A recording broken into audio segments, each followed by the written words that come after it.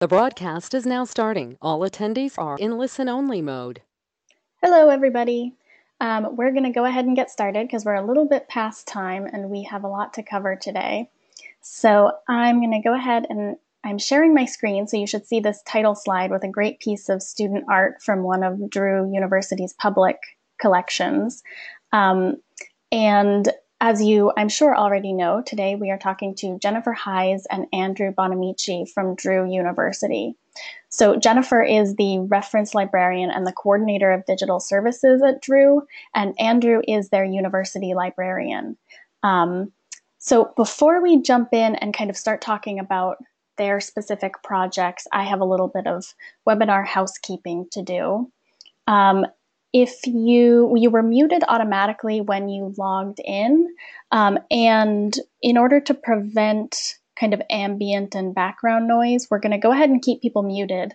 But um, feel free as we're going through, if you have questions about what we're discussing, to just enter your questions into the questions box, which is on that GoToWebinar control panel that should have popped up on, on the right of your screen when you logged in. And we will kind of review those as soon as we have a chance or at the end of the session. But I do think our plan is to kind of pause for questions as we move through some of these different collections. So if you have a question when we pause, feel free to just raise your hand and I'll unmute you. Okay, so so I think that is all that I had to run through, aside from mentioning that this session is being recorded. Um, and so if you, you'll receive a copy of the recording after the webinar, and then we'll also share it on the discussion list as well. So with all of that said, let's go ahead and jump in. And uh, what I want to do first is have Jennifer and Andrew, if you guys could just kind of talk a little bit about your roles at Drew and your involvement in digital collections on campus. Um, I think that would be a great place to start. So we know a little bit more about who you are and what you guys do. Sure, that that sounds good. Uh, thank you, Hannah. We're really happy to be here today. This this is Andrew. I'll turn it over to Jennifer in just a minute. Um, I'm the university librarian. I started here in January of this year, so I'm relatively new member of the Drew community. But to give you a little bit of background, about uh, the university itself. We're located in Madison, New Jersey, which is about 38 miles or 48 kilometers west of Manhattan. And I think you'll be hearing more about that strong connection to the New York metropolitan area later on in the presentation. So the university started out as a Methodist seminary in 1867. There was an undergraduate college added in 1928 which is now a high quality co-educational small liberal arts program uh, with about 1,700 undergrad students. We're, we're one of four Phi Beta Kappa chapters in the state of New Jersey. We have some distinctive undergraduate programs and opportunities. The New York semesters, that happens in a number, number of areas, in, including the arts. Uh, the theater programs are very highly rated here. Uh, we have a very interesting program called RISE. RISE stands for Research Institute for Scientists Emeriti. There's a, a large industrial base of you know, pharmaceutical, life sciences, bio, corporate uh, research offices of all kinds here in the northern New Jersey area.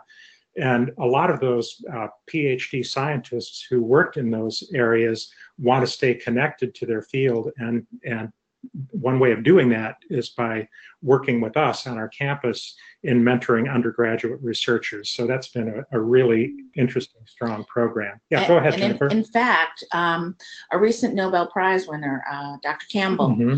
was is part of the RISE program and worked extensively with some of our undergraduates. Yeah. So um, another thing that's distinctive about Drew is that we're we're not only an undergraduate institution at all. We have uh, the theological school, which is the, the deepest uh, roots of the institution, and the Caspersen, Caspersen School of Graduate Studies.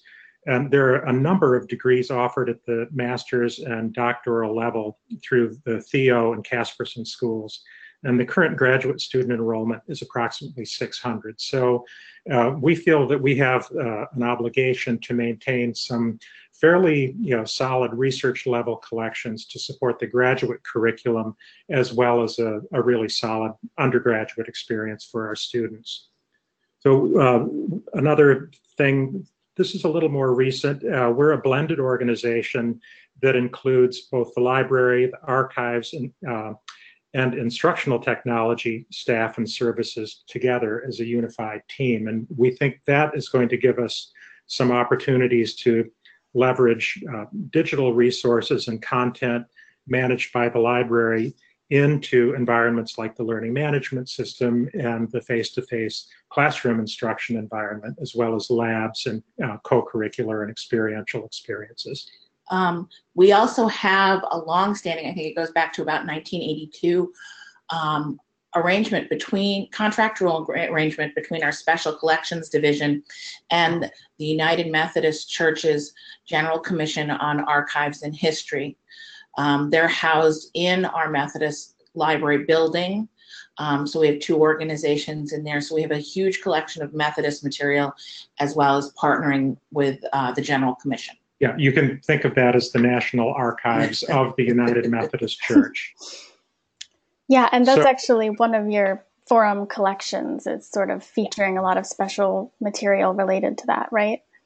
Yes. So I, I think that's adequate for uh, a brief introduction to Drew, but I do encourage all of you to get on the drew.edu website and take a look. It's a, it's a beautiful campus and we have a lot of very interesting and uh, high quality academic programs. Right. And when, so when did Drew become forum subscribers? Because it's fairly recently, right? Within the last two years? In um, in August of 2016, um, we had been looking at different um, institutional repository options and image ret- repository options because we had a huge backlog still do of um, different kinds of images that we didn't have a good way to store, access, and um, provide metadata for. And we didn't find that the existing institutional repository options um, that were out there did a great job with um, simple images as opposed to PDF documents or, you know, audio documents. Yeah, I think that's kind of a common situation to find yourself in. So, um, we one of the collections that we're going to talk about here is the Nestorian Crosses collection, and I I thought we'd start there because that was your first collection that you added to um, added to Forum, and it kind of served as a proof of concept for moving forward with the subscription and with adding other collections, right? Yes. Yes. So we we started with the Nestorian Cross collection. Um, the Nestorian crosses are um, about 400 brass items that date back to the um, Yuan Yuan dynasty in um, China. Um, goes from which went from 1260 to 1360. That's the time period. Um, they were collected by um, one of the a missionary from Drew who left them to us. We have the second largest collection of these in the in the world. The biggest collection is in the Hong Kong um, Museum. And we had recently had a scholar come and do some work with that collection. So they had made an uh, Excel spreadsheet inventorying the collection and had taken photographs. So we thought that would be a great place to start. Um, we handed over the Excel spreadsheet, I believe it was to you, Hannah. Um, and Hannah set up a, a, a, sample project for us. And we just when it, we were we fell in love with it and we started um, working with it um, there. The only the, the biggest hitch in the get along was that when our special collection staff came to look at the um, images, it turned out we had to rephotograph them. So we have only about three quarters of the um, artifacts photographed, but we have both the back, the front, and the back of many of them um, photographed. Yeah, and that's actually one of the things that I noticed today is that you have um, these sets created that kind of include all of the images of the backs and then the images of the fronts of the objects. And um, one of so I was really interested when I first saw this collection because um, when you hear Nestorian crosses, um, this is not necessarily what you think the images are going to include. Um, and so I was kind of curious, you, what's the history of these particular types of crosses? Because they, they tend to come from Eastern countries, right? And I'm just not sure that I had seen a collection of these objects before um, you guys became forum subscribers these items um, were all found in a local in a specific place um, and in China, and they were dated to a Nestorian um, Christian community, um, which um, comes out of um, circa 431 AD. They split off from the general line of the Christian church and they moved east. Um, the, the down the Silk Road into China and down into southern India. These they're called crosses, um, and we uh, many of them do have cross features, but a number of them are um, very unusual. We have a lot of bird motifs, some mm-hmm. of which are also cross motifs. um, we have circles and squares, and there's one, if you go to the conversations set, um, you'll see one that I call the bird, the rabbit duck, because it doesn't look like anything so much as perhaps a rabbit and perhaps a duck um, in the conversation set. Let's see. And I have fallen in love with these artifacts, really. Ah, there it is, below the star. Oh, I see what you mean. It kind of has ears. My rabbit, because if you look at one way, it's kind of like a duck, and if you look at one way, it's kind of like a rabbit. Um, but I've fallen in love with them, and I find them somewhat mysterious because some of them still have, and, and I've handled them. If you come to Drew, we will give you white gloves and you can handle them.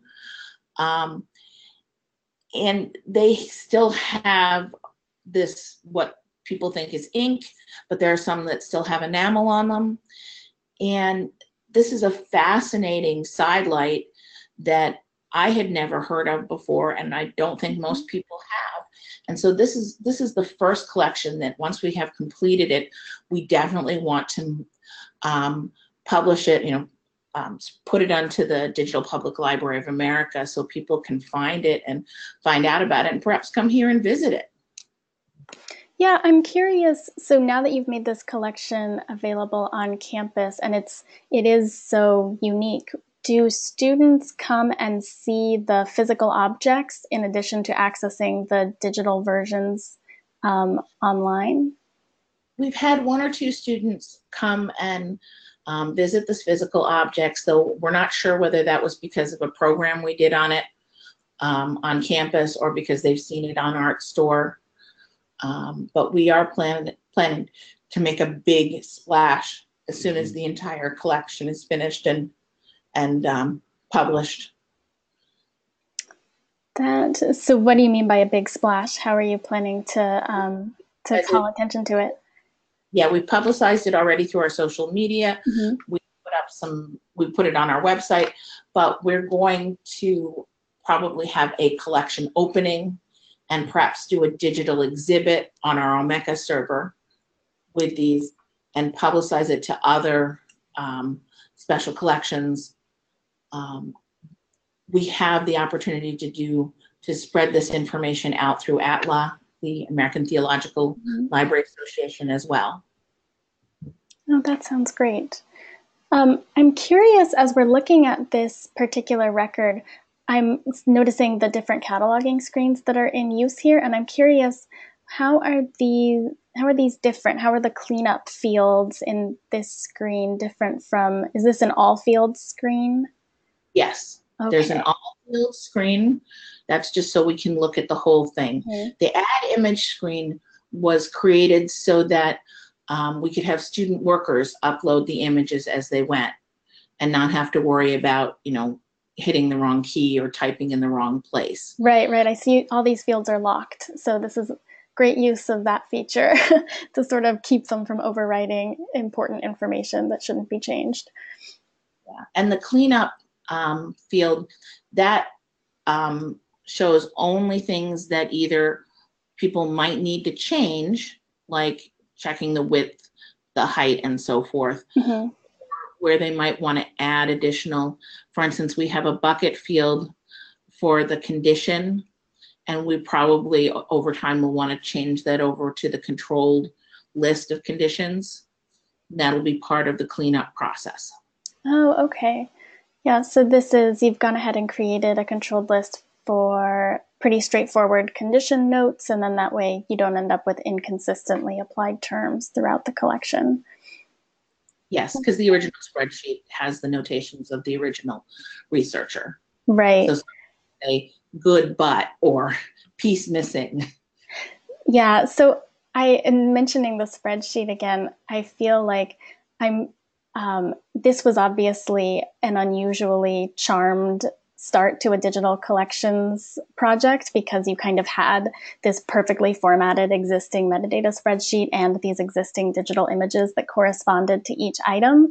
But I am curious if you have any advice for other people who are kind of getting started with new projects about kind of what they should try and square away before they get started. Um, it's sort of uh, worked out very well for you guys that you had exactly everything you needed. But d- did you guys learn any lessons when you went through this project? Because you did end up like rephotographing every object in, in the collection, right? One of the things we learned was to verify our metadata. Um, Oh, yeah. apparently, another researcher had been looking at the file at, at the image, the sorry, the items after the researcher had gone through, um, and they were not in the same order that the spreadsheet showed. So we did a, a certain amount of sleuthing. The other process was um, because we had a number of different student photographers to work on the process. We um, we tried several ways to um, do the photography and do the image cropping. So we learned a lot from that. Right, just in the in the imaging process, you mean like learning how to take good high quality photos of physical objects? Not so much the taking the images, but processing those image for loading Oh, I see. Right. and um, ma- how we were going to match that up with the existing content. Right, and Uh, making sure the file names corresponded and pulling everything together. Because this was an example where we didn't have the file name in the spreadsheet. hmm Yeah, so how did you end up adding that kind of information back in? Was it was it a manual process? we manually um, linked the images to the one at a time. We uploaded the image one at a time and added it to the um, the records. Okay. So It was pretty quick though. That's that sometimes goes faster than you expect it to. It kind of doesn't scale beyond probably a couple of hundred item records, but it is a, a solid option for kind of making sure that you're putting the right image with the right data record, especially if in the project you've already run into the headache that is scrambled data. You you feel very motivated to make sure that you're kind of pairing things up correctly as you go. That makes sense. So um, this one of the things that you've mentioned a couple of times that I wanted to touch on is the role of student workers in these projects, kind of doing um, data entry, but then also it sounded like helping in the the actual digitization process and with the imaging. Um, and this kind of circles back to something Andrew was discussing earlier about the role of experiential um, education at Drew and kind of involving students in work experiences and mentorship experiences. And I'm curious if you can talk a little bit, just because Jen, I know that you have kind of a hand in all of the digital projects that are that are underway and on the horizon. If you can talk a little bit as a manager about the experience of trying to involve student workers in these projects and make sure they're getting relevant work experience and kind of developing them in that way. Because i think that's something that a lot of people deal with in in digital collections. We've been very lucky that our special collections department has a very strong tradition of bringing on students students from our art history department graduate students from our history and culture department to work with collections doing um, cataloging, you know, doing metadata creation, doing digitization. Um, so we have a very strong culture of handing students a project, helping them find out how to do it, and then letting them go. So if you look at some of the projects we have, like our Methodist images, that, those were all digitized by a single graduate student. Oh, wow. Yeah. yeah. Kuan Yu. I don't know what we'll do when he graduates. but in addition to that, we're trying to find good ways to preserve our students' materials, which is why we have the student art project. That's kind of a, mm-hmm. a seed for um, archiving images of the studio art students' um, work. They will. They are all creating their own um, artists domain their own website as part of their professional development course. And the long-term plan is that we will archive images for that from that course, as well as any other images that are suggested, nominated by their faculty into our student art collection. What we have right here in our student art collection right now is um, images from the last two senior shows. Mm-hmm. Those photographs were taken by the campus photographer, and so you can see that a lot of them are kind of stage shots as opposed to what you would really want to see as a single image of an art piece. Right. And you had mentioned as well that um, you know the students are also sort of photographing their own work and maintaining independent portfolios and you're kind of looking to leverage the fact that they already do that on their own and have them submit those images that they're already taking um, and add those to this collection right that's sort of the next step win then we have an archived copy if anything happens to their mm-hmm. website mm-hmm. that they can get back and we can show people what our student art our student art students, studio art students do in their classrooms and the range and depth of their work. Um, yeah, this is Andrew, and I'll, I'll just weigh in a little bit with what I think is a, a really important strategic imperative, not just for, for us here at Drew, but for the, the library and archives, cultural heritage community generally uh, on a campus involving our students is is so beneficial. And I think if we design some of these services uh, around uh, opportunities for students to work with them, get their hands hands in it, uh, either in an employment situation, an internship situation, and then also celebrate and preserve you know, their work uh, through through our repositories and our archival collections. I mean, it's uh, it's not just a workforce. I mean, it's uh, it's part of the education, and it's really setting them up for alternative academic careers or for being, you know, really um, smart, capable contributors to uh, a gallery or museum environment if that's the direction they want to go. Um, I I find you know working with um, with student workers uh, in libraries and archives to be you know, a, a very powerful, uh, beneficial part of the education. So um, I'm very dedicated to this, and I, I, think the more we can refine the workflows and encourage our students to be contributing to the the archival record, um, it's it's sticky. It helps them connect to the institution. They feel the support and the care that we have for their contributions as members of the academy, um, and at the same time, we're getting work done that we wouldn't possibly have the resources to to complete without their assistance.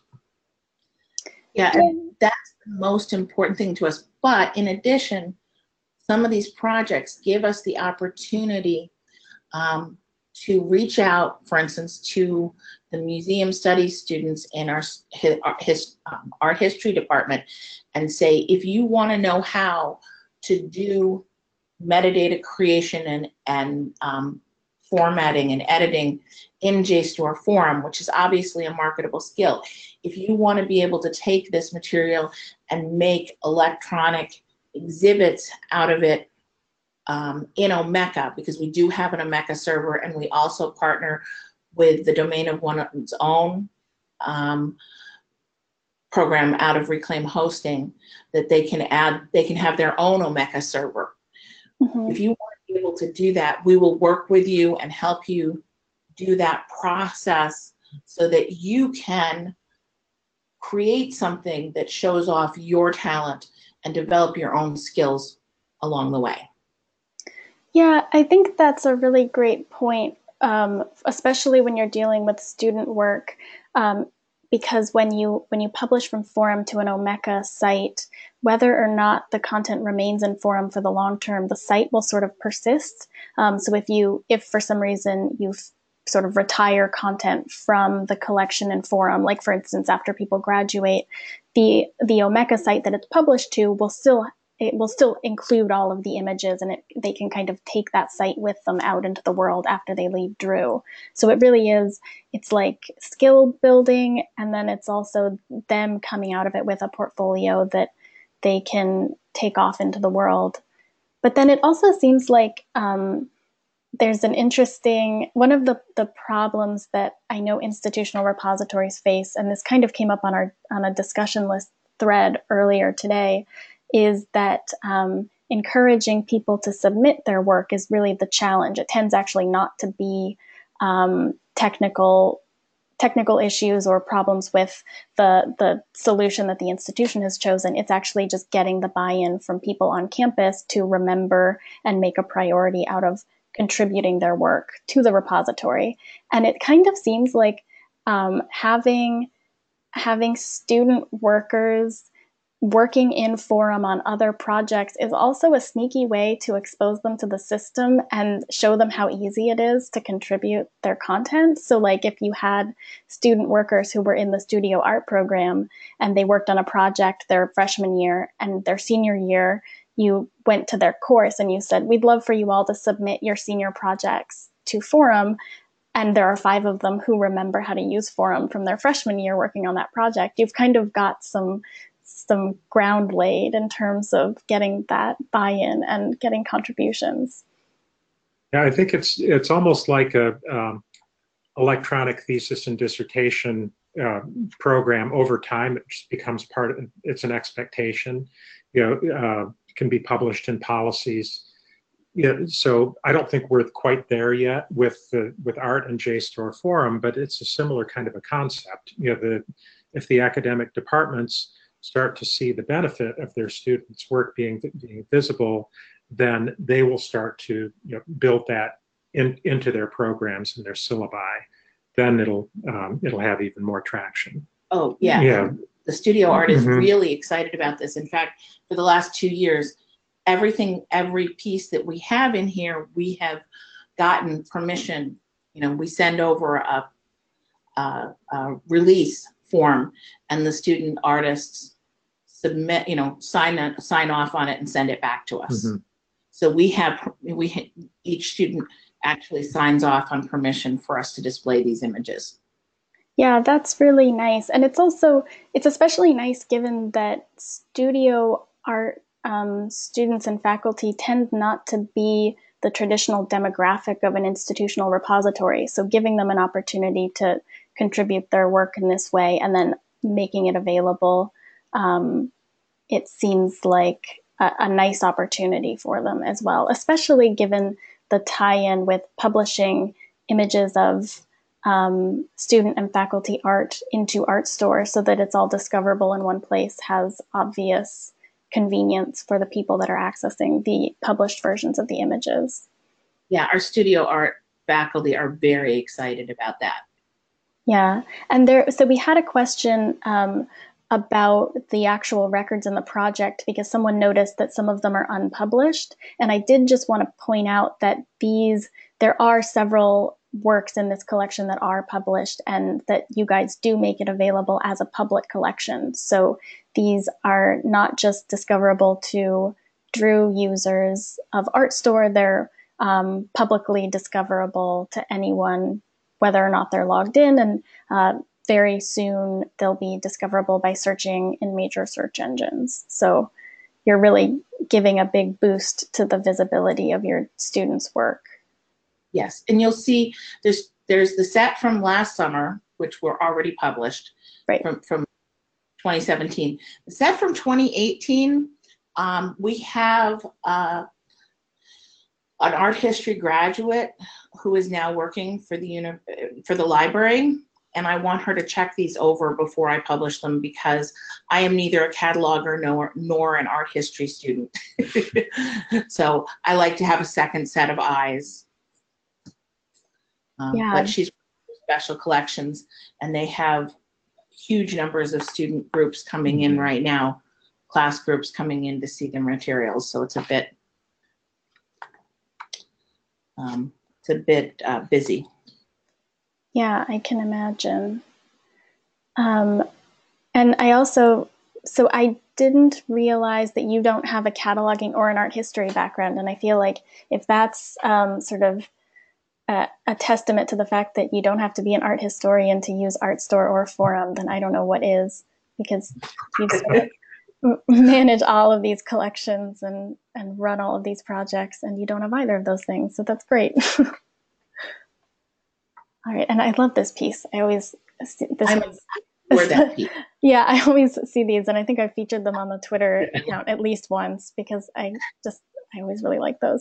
Um, all right, so one of the things I also wanted while we're talking about art projects at Drew, you guys have this really fascinating campus art project that is um, just getting started right now, and I I'm going to kind of peer pressure you into sharing your your incomplete work right now and talk a little bit about this project that you've just gotten started on.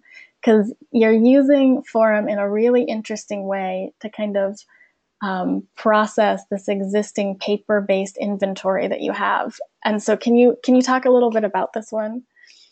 Yeah, this is an interesting case. We haven't actually had a conservator for the university art collections, which we don't have a museum, so they're spread all over campus. Mhm. We haven't had a conservator since approximately 1980. so the last full inventory of the art collections was done in 1980 um, in typed materials um, in, on cards. And since then, obviously, things have been moved around. We do know that a section of the materials in this inventory are lost because there was a, a fire in the main administration building, and we have a section that's marked burned to ashes, where the, the conservator came back, pulled those those cards, and marked them as lost. But we are trying to match up the inventory with the materials um, we currently have. We've moved a lot of materials into safe, climate controlled storage um, that we had scattered around the campus, and we're matching those up now. But the first step um, is to find out what we knew about these records beforehand. And you'll see that we have we have furniture, we have reproductions of etchings, which you know probably have no value even if we could find them. But we also have um, unusual artworks, and then we have things like our Methodist collections, which include things like communion sets. Um, I think we have one of Bishop Asbury's communion sets, Mhm. lots and lots of ceramic busts of Wesley. Yeah. So and here's an example here. Um, basically, all of these things were inventoried originally. So what we've done is we've scanned them. Obviously, we cannot do any kind of OCR with any um, accuracy. So what we've been doing is we actually have students, and these aren't even the special collection students. Um, they're student workers who work at the desk Mhm. who in their downtime are transcribing the information that's on the inventory into the, tran- the, the screen that you see here. Mm-hmm. Once that inventory material is completed, we're going to take that whole database, copy over the metadata, and start matching that to the existing items. Um, the dream is to have students take an iPad with the inv- you know the with the JSTOR forum inventory on it Mm-hmm. and take where these items are on display, mark them as you know where they where they are on display, and take the picture right there, so that we can update the inventory um, pretty much seamlessly. Yeah, so in addition to the items that uh, may still be out and around the campuses, uh, Jen mentioned, we've just uh, put a, a very nice art storage system uh, into special collections and archives that includes a work table. So one of our art history professors who teaches museum studies will actually be working with the special collections staff, taking her students in there to do you know, this kind of curatorial and descriptive and analytical work um, in you know, behind the scenes with items that aren't on display. Um, you know, so in addition to some of these older um, Methodist type materials, from Drew's heritage, we have some uh, very interesting uh, modern 20, uh, 20th century, mid 20th century work from um, gallerists and, and artists in New York. And uh, there's a woman named Lee Hall who just passed away a couple of years ago, and she started the New York semester. Um, she is the author of the very famous and somewhat controversial uh, biography of the de Koonings. Um, Mhm. she was an artist in her own right, but also a collector. So we have quite a few things that came from Lee Hall. Um, and then the uh, Betty Parsons, who owned the Betty Parsons Gallery, which is very in- instrumental in the uh, abstract expressionist and other mid-century art. We had, she was strongly connected to Drew as well. So we have quite a few uh, works that she collected. So there's quite a bit of, of material out there, uh, works on paper as well as paintings. Yeah, and then sorry, and you said so some of the work is kind of installed around campus, which is one of the things that I was noticing is documented in this physical inventory cataloging screen. But then you're also saying that um, the special collections has been equipped to house these physical art objects. So the, the bulk of the art collection actually lives in special collections. I'm, I'm hoping that as uh, we'll, we'll be pulling some of them in. You know, some of the some of the higher value items or, or items that need uh, preservation treatment, uh, we'll be pulling those back in over the, over the next few years to uh, take good care of them. But we do have a huge selection of arts all over Mhm. campus, um, which is one of the things people really notice about the campus is that um, there is art at you know in every building. hmm And all over campus, apparently. Um, do you have a sense of how what percentage of the objects that are represented in the inventory were actually lost in the fire that you mentioned earlier? Like when students start going around and trying to match these records to objects, what percentage do you think they're going to find don't have objects anymore? Well, we know approximately probably between five and ten percent were lost, but there are other materials that we're pretty sure um, probably vanished or um, were deaccessioned after 1980 because that's the last inventory. Mhm. Um, so probably a lot of the study prints. Um, we have, you know, just etchings of of famous pictures from the early 20th century that are listed in this inventory that probably don't exist anymore simply because they were not useful Right. They're not or unusual and they weren't useful anymore. Yeah, one of the things I was wondering, especially as I was going through this set that includes the prints, um, was how many of these images that are sort of uh, paper clipped or glued onto these item records in how many cases that is going to end up being the only image that remains of the work. Um, it sounds like it could be a fair a fair number of them. Well, be and we don't know.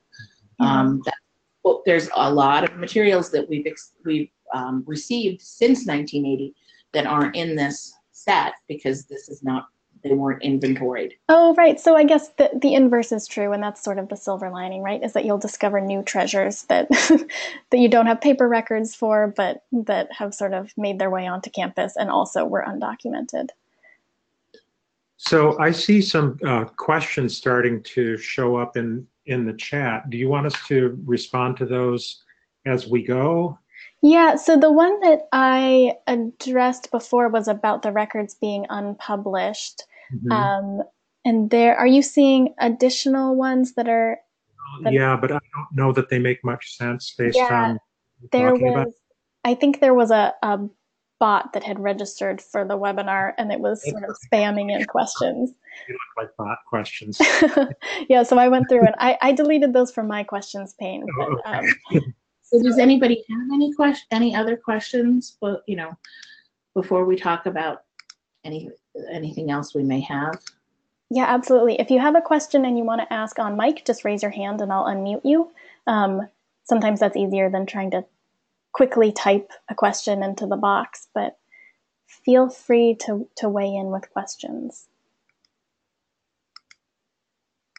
And I did just want to quickly point out um, when I went to illustrate that the student art collection is publicly available. If you go to the public collections list on Artstor and just search for Drew University, um, you can see that they have the student art collection, the Nestorian crosses, which we have just talked about, and the Methodist image collection are all available there.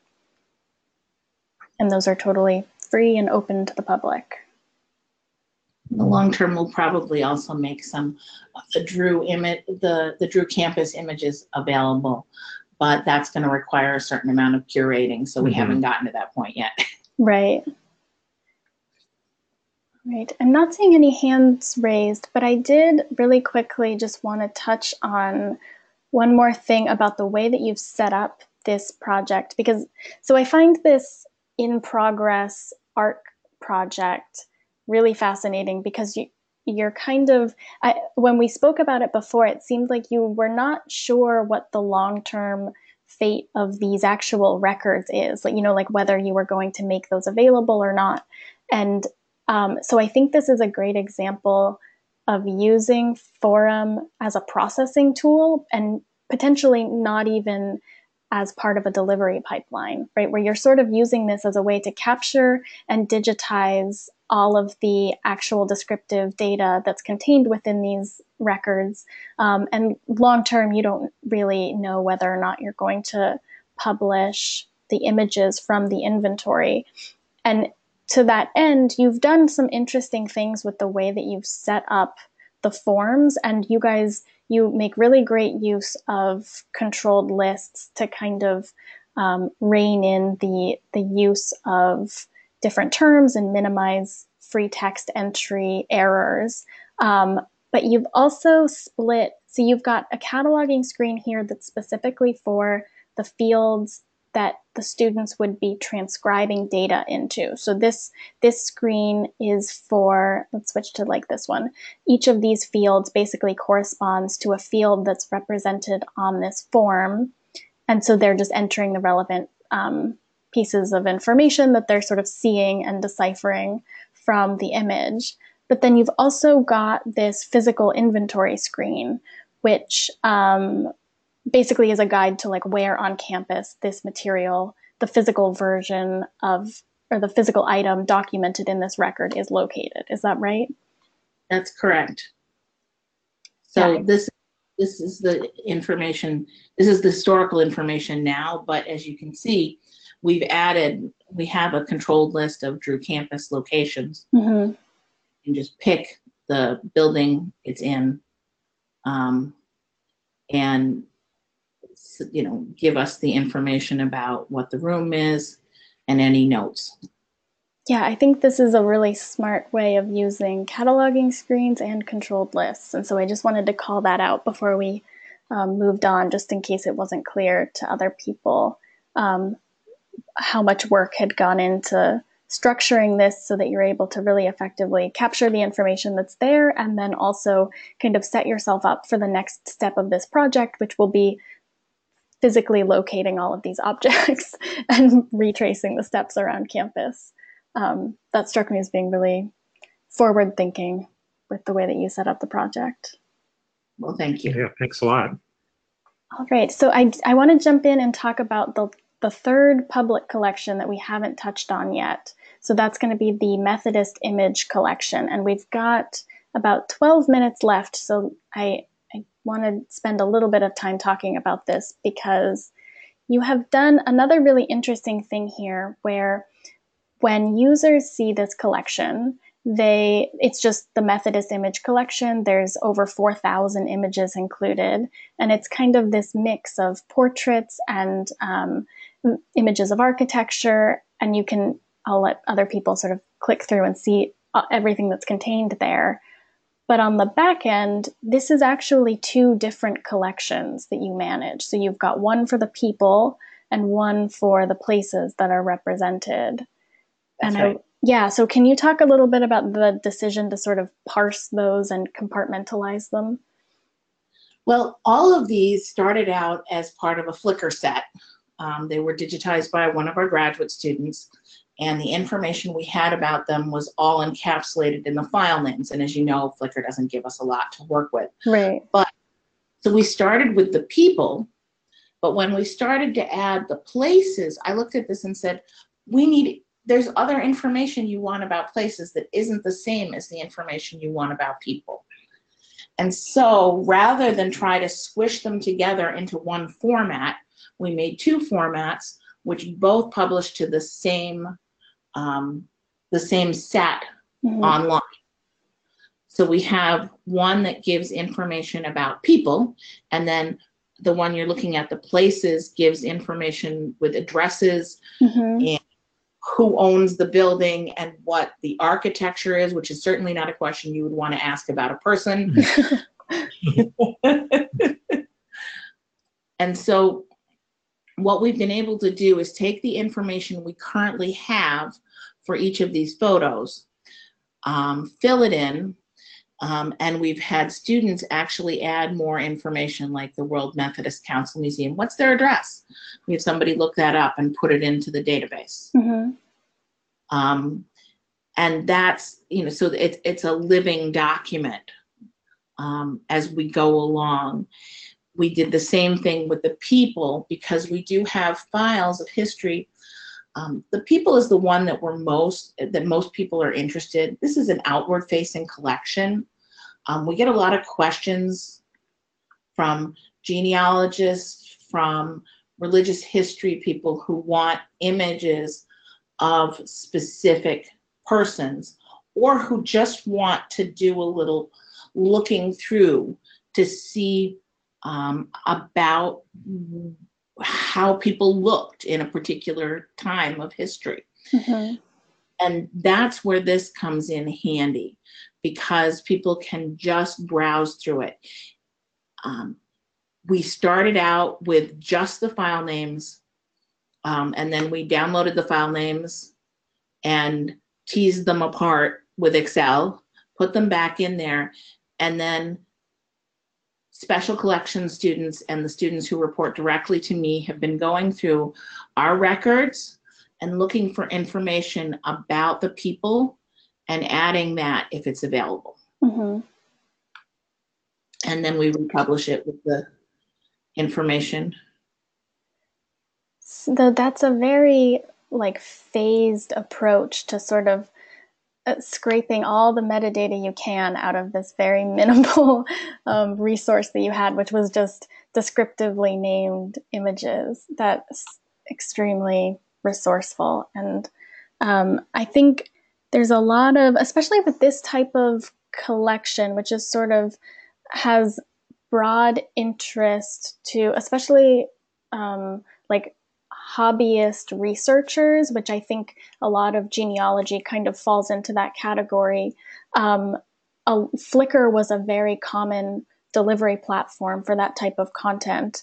Um, and I'm curious if the, the end users of this collection, so you were kind of mentioning researchers in the community, they're primarily external. They're primarily like not Drew University affiliates, right? These are just sort of community members who are browsing the collection. They are external, though it is absolutely true that in many cases we have a contractual obligation to them because of our congrat- contractual obligation to the United Methodist um, Church. And is the obligation just to make the content available, or is there um, sort of a, a reference component to that as well? There's a certain Mhm, reference. Yeah, component. so um, the collections of the General Commission share the same building as the Drew University owned collections. The, um, we support their researchers with our reading room. um, uh, with a certain amount of, of cataloging and processing and preservation support. Um, so it's a, it's a combination of uh, library service levels as well as facilities and, and equipment and storage. Yeah, okay, that makes sense. So then the, the availability of the digital collection is kind of an extension of that. That's correct. Yeah, they do a lot of their own digitization too. You know, they they have a DSpace repository, um, and you know they're they're continuing to to build out uh, their archival collections too. Is um, I'm curious. So this collection, when we were looking at the published version, it was over four thousand images. Is that the entirety of it, or is there uh, content that remains to be digitized? Well, we have Mhm. a collection of approximately 2,000 images that are already digitized, but we're going to have to do a lot of digging to identify them because they're event images. So there are Oh. multiple people in the images. Um, this is all stuff that people gave to the Methodist Library hmm um, in one way or another. There are also images of other types that are kept, you know, in the collections, but this is the biggest collection of general materials, which is why we started with this. hmm But those other 2,000 images are probably going to be a research project for someone. We have to figure out um, will we add a different project to handle those? Because they're not single or um, you know two person images. They are um, pictures of events. They are pictures of crowds of people. Hmm which doesn't fit neatly into the either the methodist people or methodist places metadata scheme Yeah, I'm curious. So, locally, when you're getting ready to kind of undertake a new digital project like that, what's the decision making process for for determining whether or not you are going to just create a new project in Forum or try to add those images to one of your existing projects? Is it purely like a metadata content consideration, or um, do you do you have sort of policies defined locally about what gets new collections versus what goes into other things? we haven't yet defined a policy we're a very small staff so we sit down together and say will this work Yeah. You're a small staff, but you've got a lot of collections already. You're approaching. We're we're also trying to develop criteria too. So where we're we're evaluating the okay, well, what'll what's this going to take? How much labor are we going to put into it? Will there is there research interest? What's the impact? Um, how does it align with our curriculum? Do we have known research applications or demand from uh, from current or likely future users? So we we are starting to have some of those conversations as well. You know, it's uh, we're we're not necessarily just digitizing because Oh, it's no. there. Yeah, when it comes to creating the project to itself create it, yes. that's when we sit down Mhm. and say what are our metadata needs Mhm. what do we want to know about the material in this collection and that's when we look at our existing standards see if we already have a standard um, the audio projects that we're going to be working on in the future, we did create a s an audio standard, um, which will require very little editing for each new project.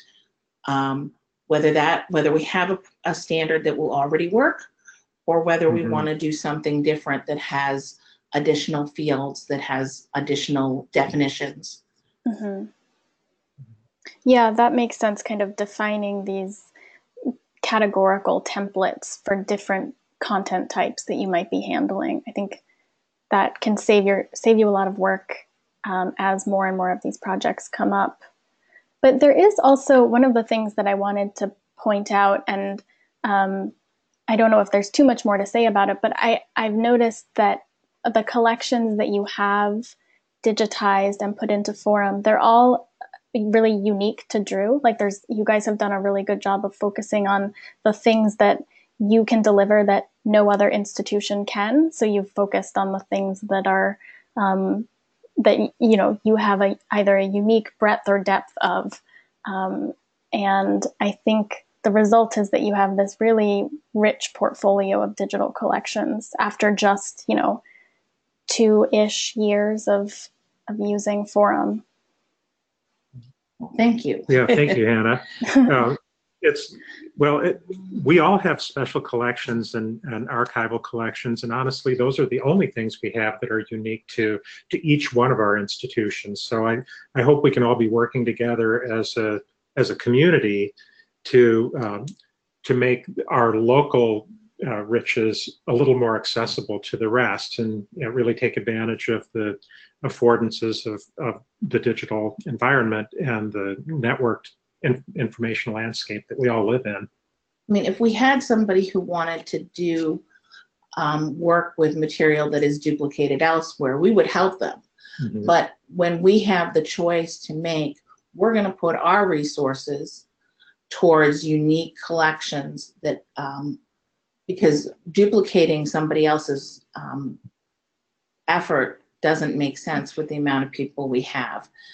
We do have some um, intake collections that we are in the process of looking at doing digitally that, you know, of bringing up digitally that are supported by donor funding.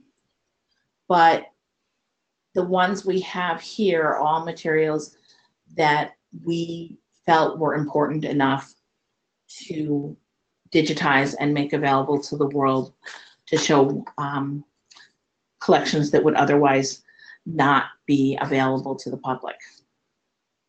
Yeah, I, I think that's also like um, kind of a, a nice note to close on because the reality is a lot of these collections which you digitized and published as public collections, the without this platform, they really wouldn't have been very widely seen. They they're effectively siloed by the institutions that own them because they're just kind of so specialized and unique. So it's it's really nice. I would also imagine that the student workers who work on these projects and the students who access the content, they're getting kind of a primary source education that is hard to come by these days. So there's a lot of value from a pedagogical point of view as well for using these.